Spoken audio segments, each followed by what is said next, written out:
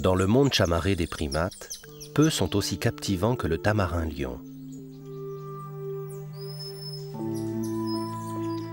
À peine aussi grand qu'un écureuil, il ne vit que dans quelques forêts du Brésil. Il y a 30 ans, ces formidables singes étaient prêts de disparaître à jamais. Aujourd'hui, ils reviennent en force. Cecilia Kirolf pourrait être la sainte patronne des tamarins perdus. Depuis plus de dix ans, elle vient au secours des singes égarés dans les coins reculés de la forêt, car elle est à l'origine d'une méthode très audacieuse pour sauver leur espèce.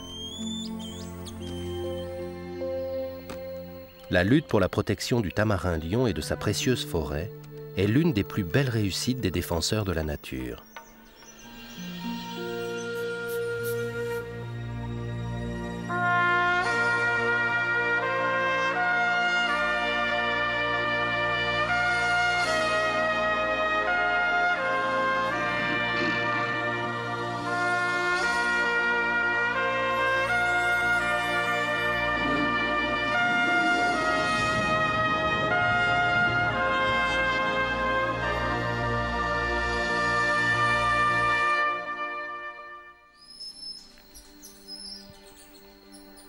La forêt de la côte atlantique du Brésil est un trésor biologique. La diversité des plantes, des insectes et des animaux est encore plus grande ici que dans le nord de la forêt amazonienne.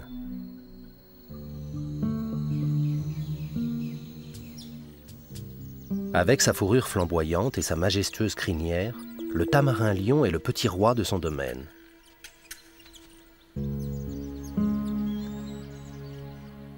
Remarquablement adapté à la vie dans les arbres, il virevolte d'arbre en arbre comme une fée scintillante.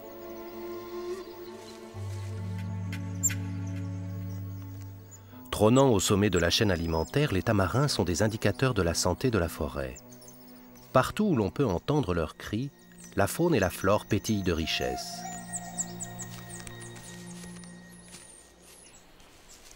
Cecilia Kirol fait tomber sous le charme des tamarins en 1990, alors qu'elle étudiait leur répartition pour son mémoire de maîtrise.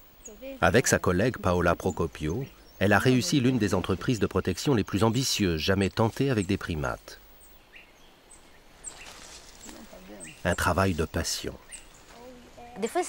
La première fois que j'ai vu un groupe de tamarins dans la forêt, j'ai été émerveillée par leur beauté. Et j'ai voulu en savoir plus sur eux, alors, j'ai commencé à poser des questions sur la taille des groupes, leur régime alimentaire, etc.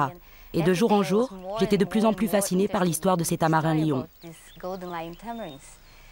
Et je me suis rendu compte que la plupart des gens ne savaient pas grand-chose sur eux. J'ai trouvé que c'était dommage et qu'il fallait faire quelque chose.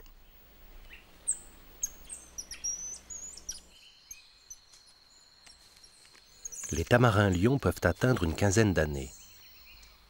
Leur groupe étroitement soudé se compose généralement d'un couple et de leurs petits. Vers l'âge de 3 ans, les adolescents plient bagage et s'en vont pour trouver un partenaire et fonder leur propre famille. Les tamarins lions sont des animaux très sociaux. Ils jouent beaucoup entre eux et passent des heures à s'épucer, ce qui contribue à la cohésion du groupe.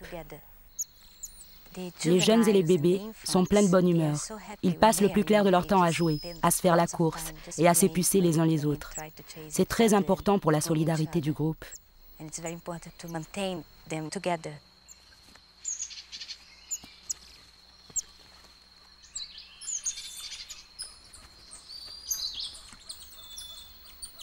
Bien que ce petit singe pèse moins de 500 grammes, il porte sur ses épaules le destin de tout un écosystème.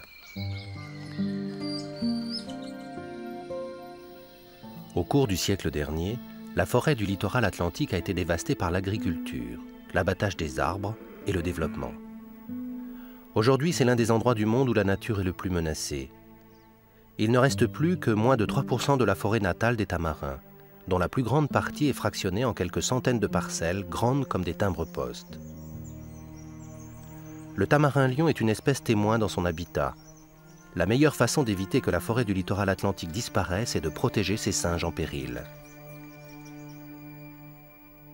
Il y a 35 ans seulement, on les chassait encore pour les vendre comme animaux de compagnie ou pour peupler les parcs animaliers. Un seul tamarin pouvait rapporter 150 000 francs. Dans le même temps, leur territoire était tailladé de toutes parts. En 1967, on ne recensait plus que 100 tamarins sauvages. Il fallait agir. En 1974, l'IBAMA, le ministère brésilien de l'Environnement, a créé la réserve biologique de Poço das Santas. C'est ici que l'Association pour le tamarin lion organise des cours d'information et coordonne un programme de protection audacieux. Plus de 40 organisations et 140 zoos du monde entier se sont associés pour élever des tamarins en captivité afin de les relâcher dans la nature.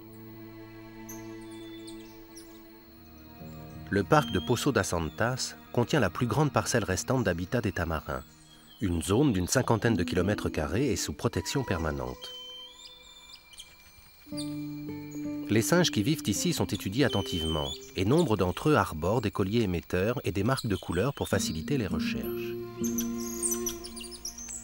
Avec la création de la réserve, le décor était planté pour que le primate le plus menacé du monde engage la bataille pour revenir en force. En 1984, le Zoo national de Washington a commencé à relâcher sur les terres de ferme et d'élevage privé des singes élevés en captivité. S'habituer à vivre de l'autre côté des barreaux n'est pas chose facile pour les tamarins. Il faut les nourrir régulièrement et leur apprendre les réflexes de base pour survivre dans la nature. Il leur faut parfois cinq ans pour devenir totalement indépendants.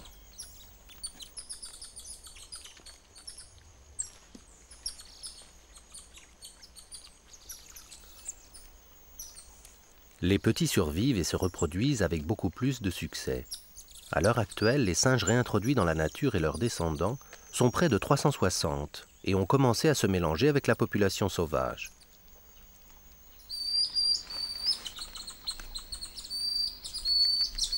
Les familles se promènent en groupe autour de leur territoire, tout en poussant des vocalises pour rester en contact.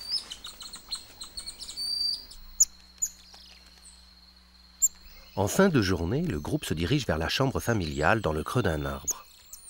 Un par un, les singes disparaissent dans leur nid pour y passer la nuit, blottis les uns contre les autres. Le tamarin lion est toujours en péril. Si le programme de réintroduction est d'une grande aide, les animaux élevés en captivité ne peuvent pas garantir à eux seuls l'avenir du tamarin en tant qu'espèce sauvage. Suivant la voie de son choix, Cecilia Kirolf s'est lancée dans une expérience qui pourrait changer radicalement la situation.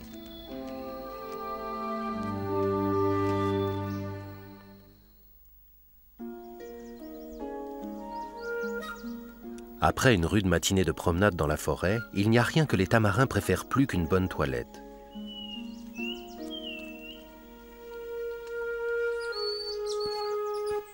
À chaque lente attrapée, tous les soucis du monde semblent s'envoler.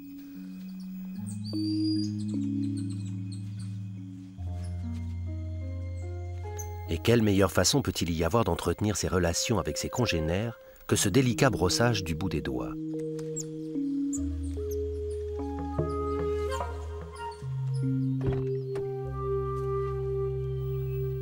Quand Cécilia Kirolf a commencé ses recherches sur le tamarin lion, elle ignorait où cette aventure la conduirait. À ce moment-là, les seuls tamarins sauvages que connaissaient les scientifiques étaient ceux de la réserve de Poço das Santas.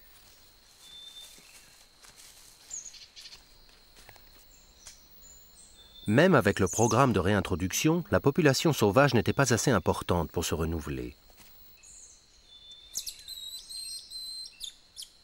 Cecilia Kirolf avait dans l'idée que des groupes inconnus de tamarins pouvaient encore vivre en grand nombre dans des parties reculées de la forêt du littoral atlantique. Pour avoir une vue d'ensemble des endroits où les trouver, elle a alors acheté une photo satellite de toute leur aire de distribution. Les parcelles de forêt restantes y étaient représentées comme des petits îlots de verdure. Ici, c'est Rio de Janeiro. Comme vous pouvez le voir, il ne reste plus aucune trace de forêt. C'est vraiment dramatique. Mais je me suis rendu compte qu'il restait de minuscules zones de forêt sur l'aire de répartition initiale des tamarins. Et je suis allé inspecter chacune de ces zones pour voir si j'y trouvais des tamarins.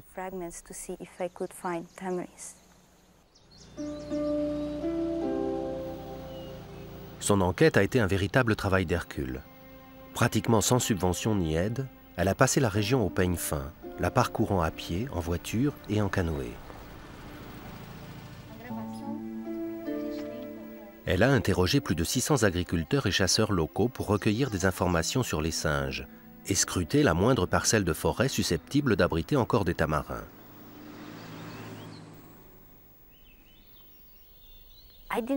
Je ne savais pas par où commencer car la région est immense. J'avais très peur de ne pas pouvoir m'en sortir, mais j'y suis allée quand même. En deux ans, j'ai fait plus de 5000 km avec ma voiture et je suis allée dans plus de 250 villages. Mais au bout de tout ça, j'ai eu une belle récompense, car j'ai trouvé plus de 270 tamarins.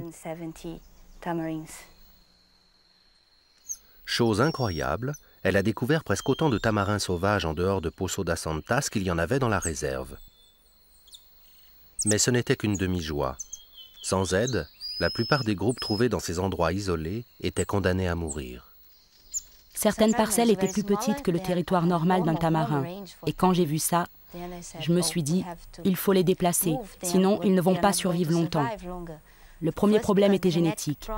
Dans de si petits espaces, le degré de consanguinité arrive à un tel point qu'ils étaient condamnés à disparaître en quelques années. Et en plus, les gens abattaient les arbres de ces parcelles de forêt. Il fallait absolument les sauver.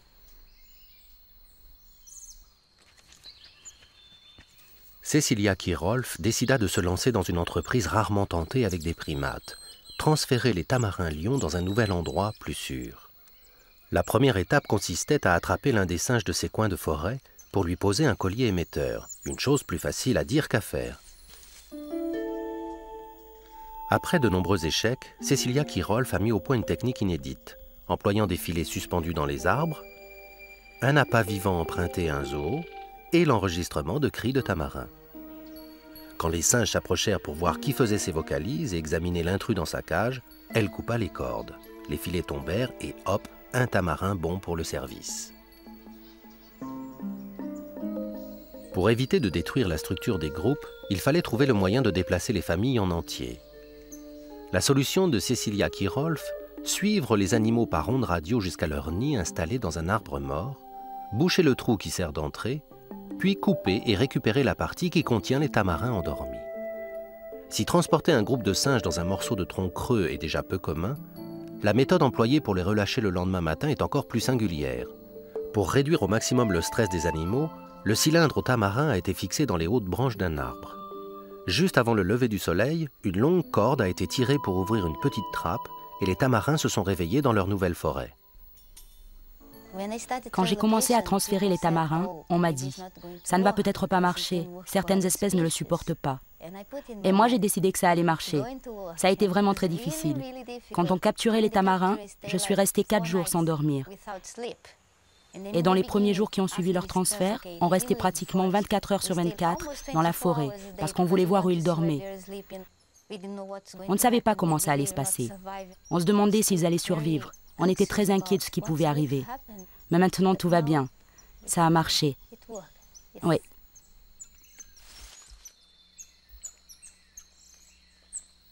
Même pour des tamarins rescapés, la vie dans les bois est pleine de dangers. Ils abritent des ennemis naturels comme des oiseaux de proie et de redoutables serpents, tels ce boa constrictor.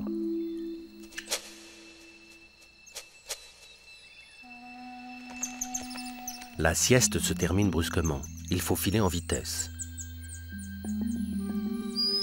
Un petit resté en arrière est récupéré par son père.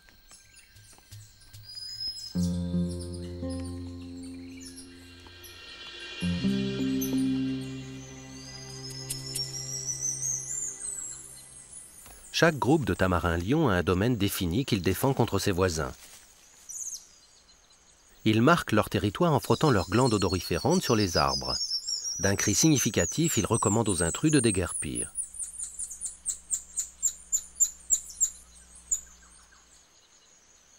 Contre toute attente, Cecilia Kirolf a réussi à déplacer les tamarins en danger. Mais leur installation ne s'est pas faite sans difficulté. Le problème que nous avons rencontré est qu'il fallait trouver un espace très vaste pour installer un groupe, un groupe sauvage, car ce sont des animaux très attachés à leur territoire. Si on relâche un groupe sur un territoire proche de celui d'un autre, ils se battent. Il faut donc des forêts immenses pour déplacer des tamarins, de très grandes forêts pour qu'une nouvelle population se développe. Aujourd'hui, c'est très difficile à trouver. Personne n'avait jamais tenté une telle aventure auparavant. Et sans une nouvelle forêt, la formidable expérience de Cecilia Kirolf allait se solder par un échec.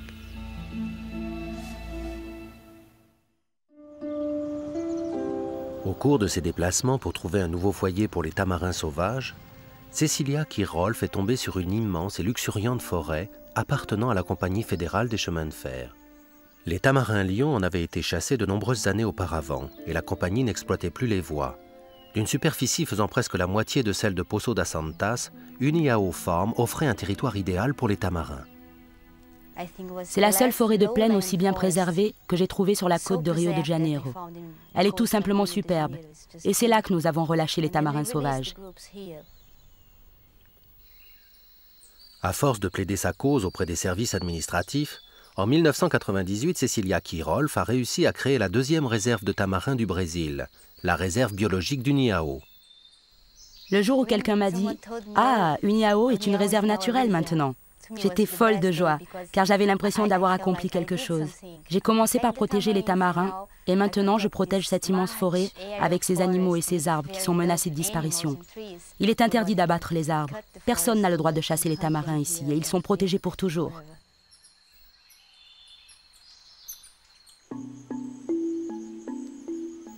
Les broméliacées sont l'une des haltes gastronomiques préférées des tamarins. Pleines d'eau de pluie de succulents insectes, ce sont de véritables paniers pique-nique naturels.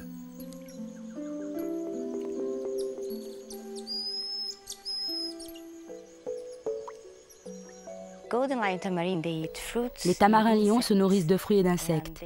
Ils ont de longs doigts qui leur permettent de dénicher les insectes dans les arbres creux et dans les broméliacées.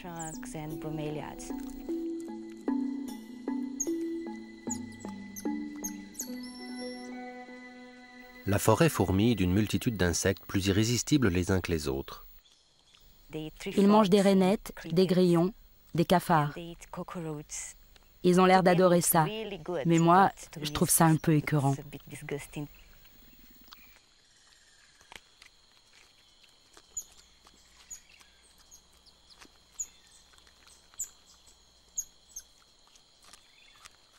Les tamarins profitent bien de l'abondance de nourriture dans la forêt du Niao.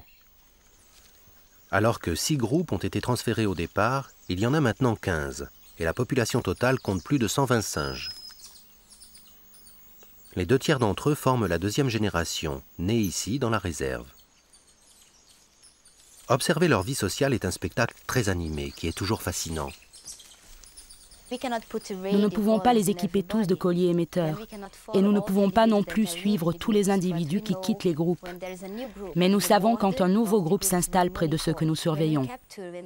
Lorsqu'on capture des singes et qu'on réussit à les identifier, on est fou de joie. On s'émerveille de voir que telle femelle d'un groupe s'est mariée. Ou plutôt a rencontré tel mâle d'un autre groupe et qu'ils ont fondé une belle famille qui forme un nouveau groupe dans la forêt. Ces romantiques associations sont extrêmement importantes pour la survie de l'espèce. Isolés dans leur coin de forêt, la plupart de ces tamarins, maudits par le sort, n'auraient jamais pu se rencontrer. Leurs unions produisent un accroissement de la diversité génétique qui peut être déterminant pour la survie de l'espèce.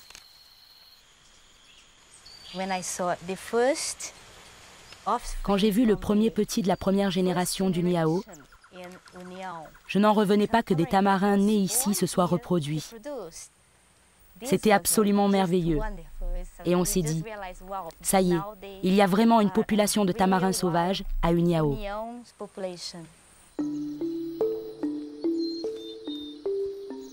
Les tamarins lions donnent généralement naissance à des jumeaux. Lorsque la nourriture abonde, un couple peut parfois avoir deux portées dans la même année. Durant la première semaine, seule la femelle s'occupe des minuscules bébés qu'elle allait.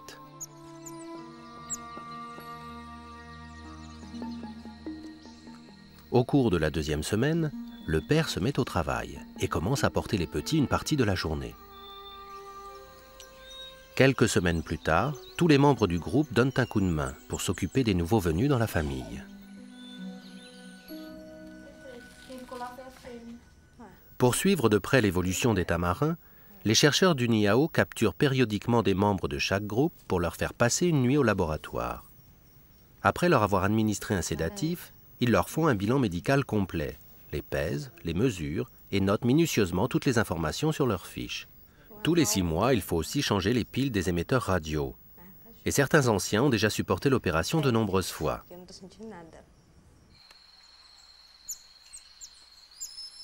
Le lendemain matin, sous les regards impatients des leurs, les animaux examinés sont relâchés.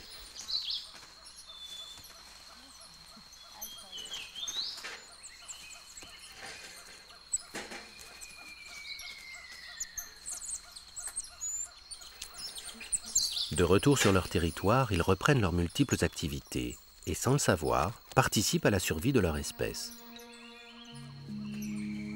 L'avenir de leurs descendants repose peut-être sur les informations que ces tamarins donnent aux chercheurs.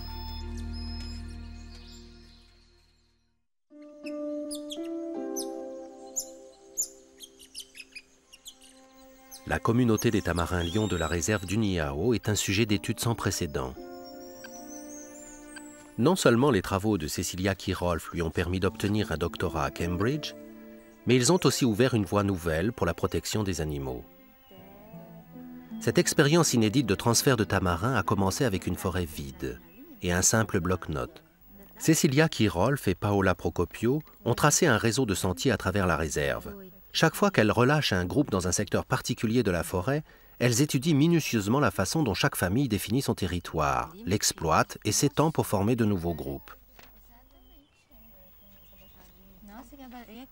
Pour mettre en corrélation les données de tous les groupes, Cecilia Kirolf a mis au point un programme informatique inédit. Toutes les recherches forment une mine d'informations précieuses pour lutter pour la survie du tamarin lion. Nous savons maintenant comment réintroduire dans la nature des tamarins qui étaient dans un zoo, comment déplacer des groupes. Et tout ça a des résultats très positifs pour l'espèce. Je suis sûre que leur avenir n'est pas si compromis. Je crois qu'ils ont des chances de survivre. Début 2001, le millième tamarin lion vivant à l'état sauvage a vu le jour.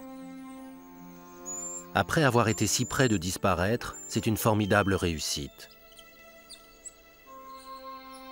Mais les zoologistes considèrent que pour qu'une population soit viable, il faut au moins 2000 tamarins, sans parler de la nécessaire sensibilisation du public à leur cause et de la protection de forêts supplémentaires. Malgré toutes les bonnes intentions, certaines des plus belles créatures du règne animal disparaissent à tout jamais. Mais pour Cecilia Kirolf, chaque tamarin lion qui voit le jour dans la nature est une raison de plus de poursuivre le combat. Je dois être optimiste pour l'avenir des tamarins lions. Sinon, il vaut mieux que j'arrête tout de suite. Je dois être optimiste. Je dois croire qu'ils vont survivre. Je crois que si tout le monde unit ses efforts, on peut arriver à les sauver. J'en suis sûre. Je suis sûre qu'on peut y arriver.